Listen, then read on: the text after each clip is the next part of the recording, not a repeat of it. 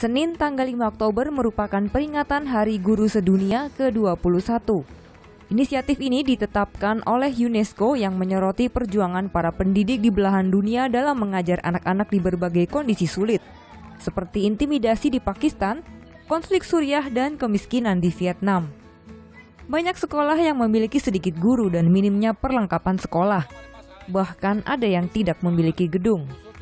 Namun para guru tetap berdedikasi dalam mengajar.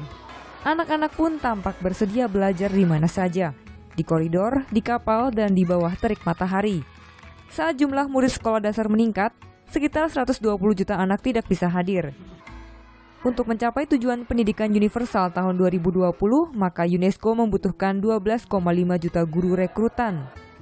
Hari Guru Sedunia dicanangkan ke berbagai negara untuk mencari dan menangani masalah guru, serta memberdayakan mereka dengan pelatihan sebagai kunci menuju tahun 2020.